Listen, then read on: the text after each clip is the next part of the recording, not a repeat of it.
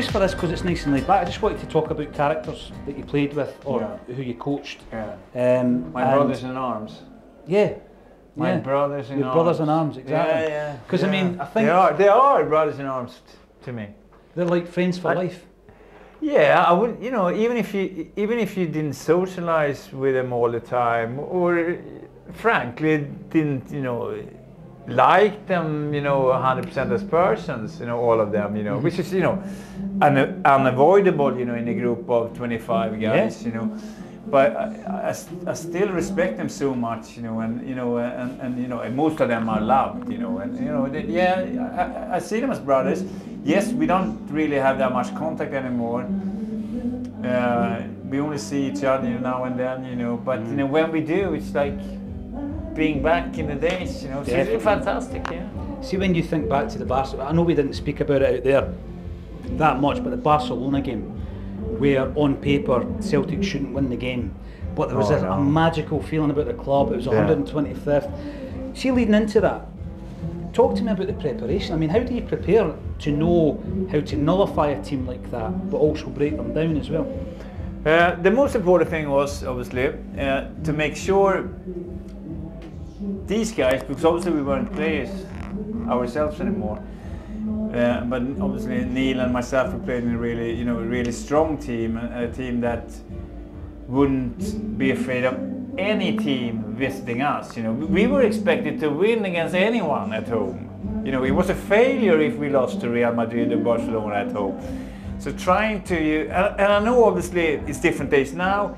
It was that ga- gap between my playing career and being in in, co- in management. It was a gap as well. You know how football was changing a wee bit. You know how you play it, and mentally and, physically as well. You know, so so it was important for us to try to get into the head to to make sure you can win against Barcelona. We're playing at home. At home is our castle. You know, we should we beat anyone at home. You know, uh, and then obviously uh, Neil as manager was really it was important uh, to really drill our players to don't man mark like Lionel Messi. It doesn't matter where he goes.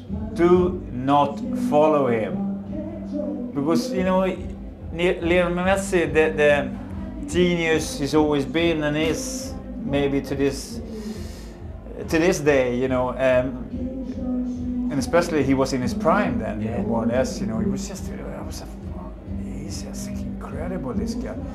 But he was, he wasn't really that involved, you know, in the build-ups or that. He he just wants the ball when he, when he's interested, you know, and he wanders a lot, you know. By by doing that, you know, obviously he tricks a lot of teams, you know. So the match plan was to make sure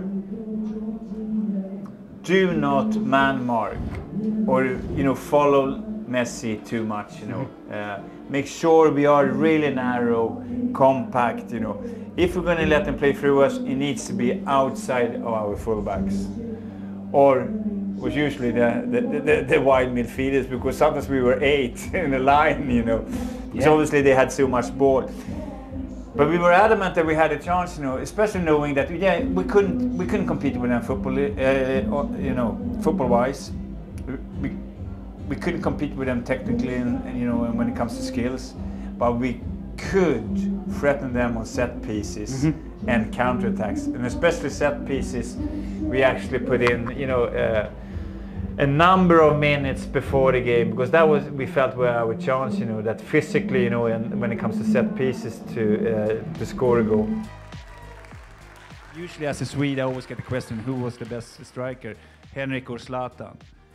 And, and obviously, in Sweden, because Zlatan won so many uh, titles, you know, in Italy and, and even in Spain, uh, uh, he's seen as, probably because of social media as well as exploded, he's seen as obviously that he was a proper, proper world class striker. I, I, I rate Henrik so much higher than Zlatan. Some of the characters I think about in that team, uh, you've got the homegrown talent, You've got the guys like you were talking th- about about through there about the recruitment. Um, you know, Charlie Mulgrew takes that corner kick. First signing in your tenure with Neil Lennon, Yeah. and it's headed home by Victor Wanyama. You told us all about Van Dijk through there. Wanyama, t- talk to us about his kind of Celtic introduction and the player he became because he became a monster. Yeah. man. Fantastic monster. player. Yeah. I'm actually sitting here and a bit disappointed that Victor didn't do more in the game. Do you know that? Uh, he had a great career. Also, don't get me wrong, Southampton, Tottenham. Uh, I just felt he could be a world beater. You know, Yeah. so strong. Uh, you know, uh, technically good. You know, leader.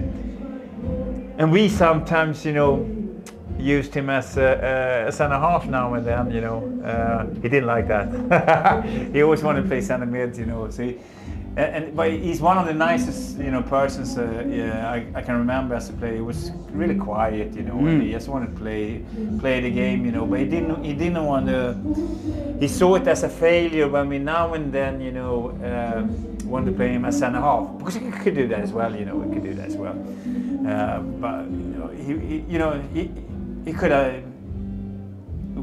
He became an extremely good player, but could have become a world beater for me. But you know it happens. You don't know why it happens. You know that uh, you don't maybe um, reach the the maximum of, of what I thought he had in him. But great player, you know, great, great player, and really important for us during our tenure. You know, when so nah. When Well, I also, you got him, you know, coming in early age and all you know, strong physically, having him for a play, and then you have Charlie Mulgrew yeah, with the best wand in the business. His left peg, yes, absolutely. unbeliever. As good as Alan Thompson, who I would ra- I would put in any of my best Mm, of teams, you know, yeah. because his left foot. I'm in the squad. Just phone home and say, no, I'm not going to come back tonight. tonight. Uh, I'm going to be involved in the squad. You know, I'm going to at, at least get a wee, bit, wee feeling of uh, this mega game, the club, and all that. You know. So uh, Saturday uh, is coming up. You wake up, you have breakfast, then we go for a walk, all of us. You know, and uh, at 12 o'clock, roughly lunchtime, the starting 11 comes up. And my fucking name is in there. You know. I, The, the other two players I want to talk about from that team, Johan, the big man at the back, Fraser Forster. He came in on loan, he came in on loan, he became an absolute hero. Wow. Massive. In that performance, I'm struggling to remember a Celtic goalkeeping performance that was better than. I wonder if we ever during my lifetime going to see a better performance. That was just crazy. It was incredible, you know. It's and we needed that, you know.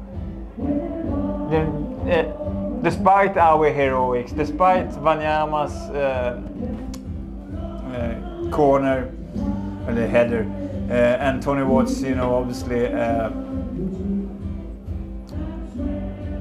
bit of a fluke goal in a way that obviously Mascherano misses the ball, but you know it happens. You know he took his chance. You know, Yeah.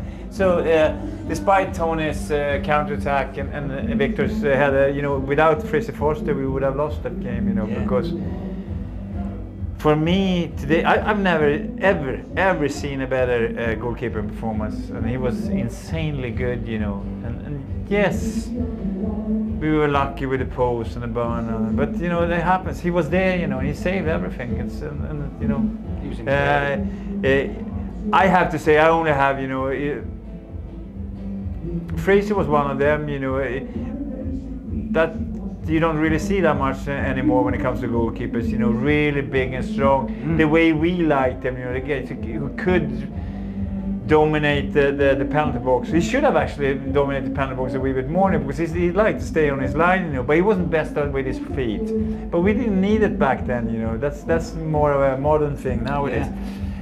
I, I just felt, you know, he was the best shot stopper I've ever seen, you know, for a while. And and you know, during during my four years as assistant manager, Fraser Forster was crazy good. The gaffer, yeah. He's the only one I call the gaffer. Uh, no, uh, Martin is um, the only one I probably would have been able to run through a brick wall for. Um, he changed my Celtic career um, in a way.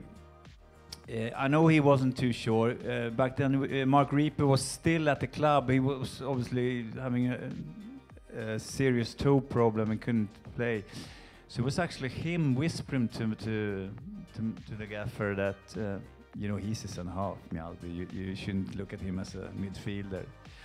Thank God.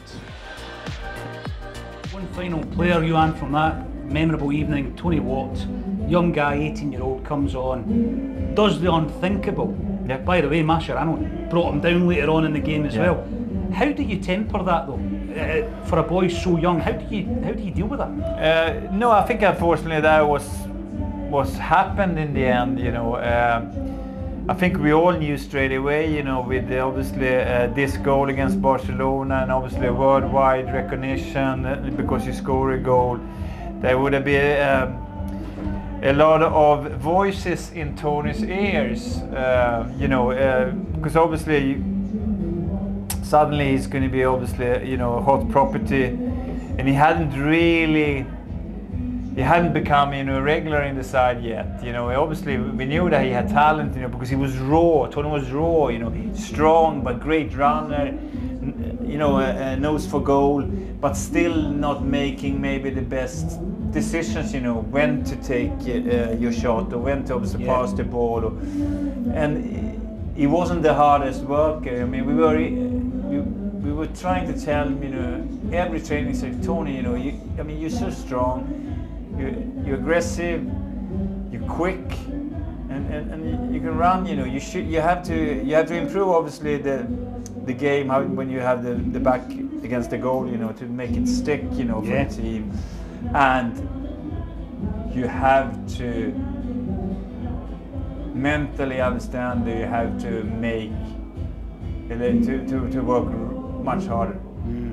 Yeah. much harder in the game off the ball you know you know maybe it was unfair you know but I was just picturing Henrik you know when I said you know because also Henrik was always the one who worked hardest off the ball you know so I yes because we were worried. We were worried with that goal for Tony you know that obviously we could see he had a lot of you know skill and a lot of you know a lot of uh, powerful tools to become a really good striker. But personally i don't know what happened but um, it happens you know that you listen to the wrong persons and, and, and you don't take on board